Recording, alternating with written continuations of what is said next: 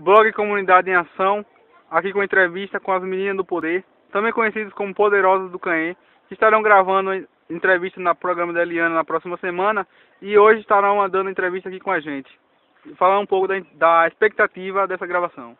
Estamos muito ansiosos para irmos. Vamos amanhã para Salvador e embarcaremos para São Paulo na segunda-feira, onde estaremos gravando o programa na terça. E após a, gravação do programa, vamos estar divulgando a data para que todos possam assistir.